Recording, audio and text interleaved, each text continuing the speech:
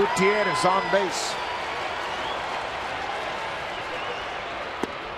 Buehrle strikes out Trumbo to leave the bases loaded. Mark Berry gives up